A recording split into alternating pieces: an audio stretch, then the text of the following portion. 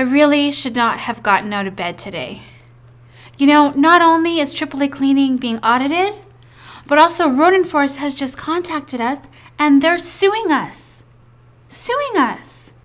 Apparently, they think that the RF on the ninja's costume looks too similar to the RF in Ronin Force. It's like RF doesn't even stand for Ronin Force. It stands for ridiculously fantabulous. This is completely outrageous. You know the fonts don't even look the same.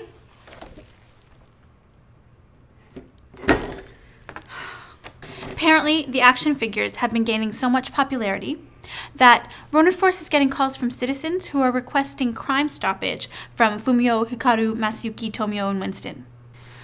You know, all they need to do is either give out AAA Cleaning's phone number or they could just change their voice messaging options to something like, mm, I don't know, thank you for calling Ronin Force. For booking up to five ninjas, press one.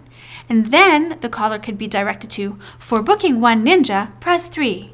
For booking two ninjas, press four. For booking three ninjas, press five.